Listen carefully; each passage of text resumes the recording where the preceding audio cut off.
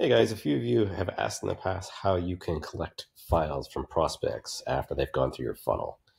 Now, there's actually a simple way to do this. I've overlooked this, and the reason why I've overlooked it is because uh, I haven't been using Dropbox for like seven years. I've been using Google Drive.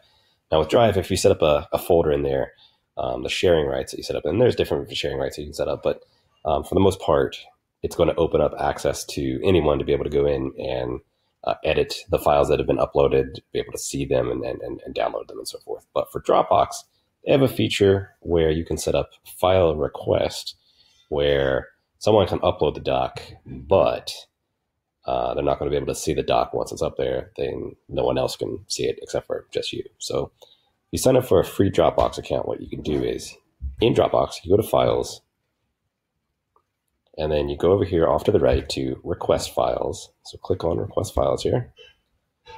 And you're going to create a folder. So let's just call this PhoneSites.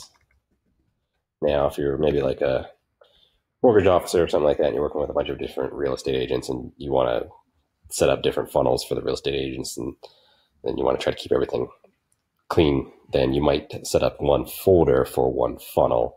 That way you're working with a particular agent uh, all of their leads uh, documents that are coming in for the funnel that you're working on with them. It all goes in one folder. So I'm just going to set up one folder here for this purpose. But um, if you needed to segregate everything, you can create different folders.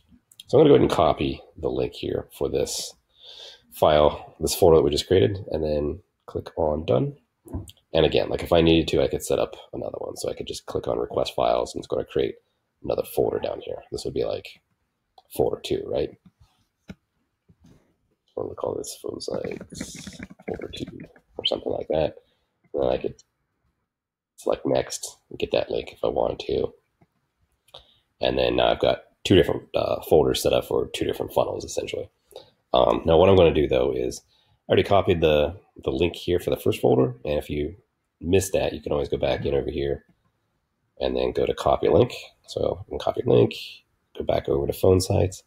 And then now we need to add this in for a redirect. So basically, whenever someone gets to my thank you page here, they can be redirected to Dropbox to be able to upload that document. So I'm just going to use the default button that's on the page that gets added in the form block, which is what you see right here on the left. This will be my button that you see right here on the right. Now, if for whatever reason uh, on this page, if I wanted multiple blocks, or sorry, multiple buttons, then I might need to go in and click on add block to add in a button block, right? And then I could put in that Dropbox link right there. But in this case, I'm not. I don't need multiple buttons on this page.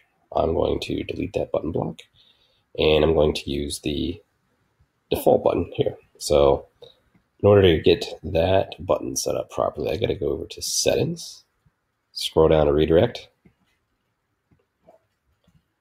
and change this to be external URL. And then just add in that Dropbox URL. Then select save.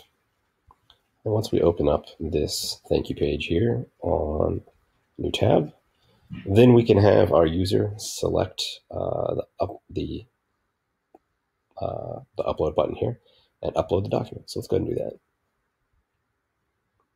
Now on this page here, this is a Dropbox page. This is what they've been redirected to.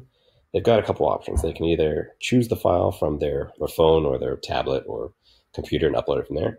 Or if they already have a Dropbox account and the document that you need is in Dropbox, they could click through here to get their document from Dropbox. So I'm just going to use computer and just going to pick a recent file here. Uh, obviously, you want them to submit, you know, a PDF or some sort of uh, energy bill or uh, most recent statement from their bank or something like that. I'm just going to add in this screenshot here, and that'll be my pretend doc. And then now that's going to get uploaded. And if I needed to add in more files, I could, but I'm just going to upload that one. And then after that's done, the next page is going to let them know that they've uploaded and they can add in more files if needed. Now, notice on this page, they have no way to go in and um, see the file that they uploaded. They can't delete it. They can't delete someone else's. They can't um, download anyone else's. So that was my primary concern with trying to use something like Google Drive before. which I may have discussed with a few of you in, in various threads in the past in the group. But with Dropbox, we don't have to worry about that. So let's go over here to Dropbox. So as you remember, I set up two different folders. Uh, I just used the link for this one here from my PhoneSites site. I didn't set up uh, a different funnel for this one here. So we should expect once I refresh the page, we should see one submission here for this folder. So let's go ahead and refresh that. So there's our file, and then we can go ahead and click into our folder. And so there's a file. Um, and so then I could, you know, if I was a loan officer or um, solar company or something like that, I could pull down whatever documents I need to evaluate for this particular lead. Now, Dropbox will email you whenever you get a file that has been uploaded into Dropbox. Um, I'm sure you can probably set up in uh, Dropbox settings to be able to um, limit the emails that you're getting from them. Perhaps you don't want to get all of these notifications. Or if they don't have that uh, setting set up, you could simply set up a rule in your Outlook or Gmail uh, to have these particular incoming notifications for these file uploads, uh, for those to go into a, a folder. Now, one more thing I want to point out too is back here at the folder level in Dropbox, uh, if you have a teammate that you're working with and they need access to this, you could simply go over here to the little three dots uh, menu icon over here and click on share and then grant them access. You could just give them um, access via adding their email address here. They'll get an email saying um, that they've been granted access to this folder. And then, um, then you should be able to share these documents going forward to be able to work. All right, guys, it's as simple as that. Um, have any questions? Let us know.